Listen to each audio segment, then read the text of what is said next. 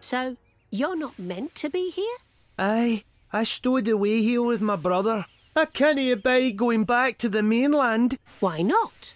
You haven't heard? Yon diesels are taking over. Controllers are cruel. When an engine's turn is up, they don't repair 'em. They put 'em on a cold, damp siding and then c- cut them up. Oh dear! We've got to make a good impression with the Fat Controller, Oh, or it's the same fate for Doogie. What a shame. I wish there was something I could do. Aye, that's mighty kind, Percy. But what?